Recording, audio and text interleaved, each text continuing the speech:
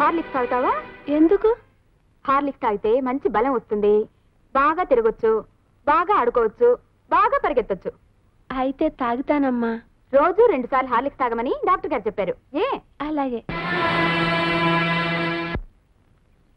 అమ్మా అమ్మా నువ్వు కూడా నాకు అబద్ధాలు చెబుతున్నావా? నేను ఎప్పుడు ఏ చిన్న వస్తువు అడిగినా డబ్బు లేదు డబ్బు లేదు ఇల్లు గడవడమే కష్టంగా ఉందని పేదలు ప్లరుస్తా. అందులో అబద్ధమే ఉందే. డబ్బు లేకపోతే ఇంట్లో గదికి హార్లిక్స్ ఎలా వచ్చింది? హార్లిక్సా? అవును. కావాలంటే వచ్చి చూడు.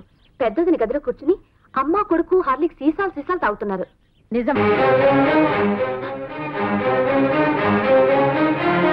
ఇంటి ఖర్చుకి ఇంకో వంద రూపాయలు ఇమ్మంటే నీ మొగుడు లేదు లేదు గోల పెడతాడే? ఇది ఎలా వచ్చింది? బాబు చాలా నీరసంగా ఉన్నాడు.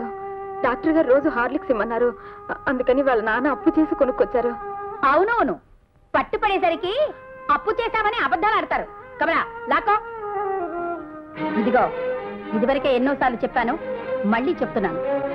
ఈ ఇంట్లో ఎవరికైనా తిండి తినే హక్కు వాళ్ళ వాళ్ళ భర్తలు సంపాదించే సంపాదన పట్టి ఉంటుంది.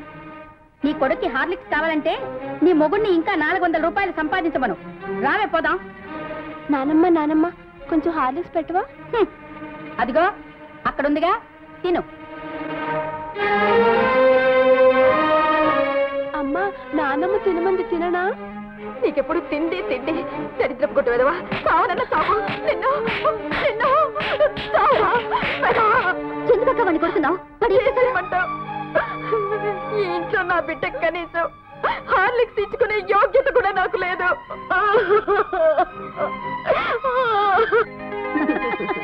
ఆ రోజు కాస్త చేపలు బాగు చేసి పెట్టమంటే తెగ నీలిగింది. ఆవిడ కొడుక్కి హార్లిక్స్ కావాలంట హార్లిక్స్. అబ్బా ఈ ఆలిక్స్ ఇక్కడ పెట్టేసి అందులో ఆపిల్స్ ఉన్నాయి పట్రా.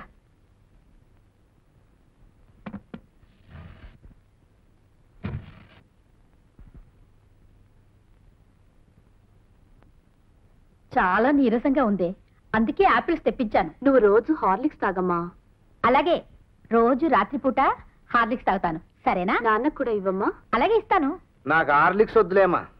నీ చేతి మీదుగా ఇంత విషయం ఇవ్వు. ఎప్పుడు నిష్ఠురాలే. ఏమిటిది? ఇంతకు ముందేగా మీరు చెప్పారు? ఈ ఇంట్లో ఎవరికైనా తిండి తినే హక్కు వాళ్ళ వాళ్ళ భర్తలు సంపాదించే సంపాదన బట్టి ఉంటుందని? మీ భర్త గారి పెన్షను నూట యాభై రూపాయలు. మీరు యాపిల్స్ తినాలంటే మీ ఆయన ఇంకా ఎనిమిది వందలు ఎక్కువ సంపాదించమనండి. క్షమించండి మావయ్య. ఏమిటండి ఈ అన్యాయం? మీ ముందే నన్ను ఇంత అవమానించిపోతుంటే వింటూ ఊరుకుంటారా? ఊరుకోలేదే. లోపల దేవుడికి దండం పెట్టుకుని ప్రార్థిస్తున్నాను. ఏమని? నీలాంటి అత్తగారున్న ప్రతి ఇంటికి ఇలాంటి కోడల్ని ఒకదాన్ని ప్రసాదించమని. అయ్యో రామా. అమ్మా. అమ్మా. అక్క ఎక్కడున్నా బాగా ఏడుస్తున్నాడు వినపడ్డాలా? అమ్మా. అబ్బా కొడుకు సంగతి పట్టించుకోదు. ఈమెక్కడ కలరా దేవుడా?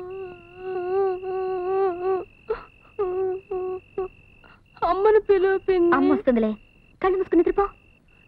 నిద్ర రావడం లేదు. ఏదైనా కథ చెప్పవా? కథ?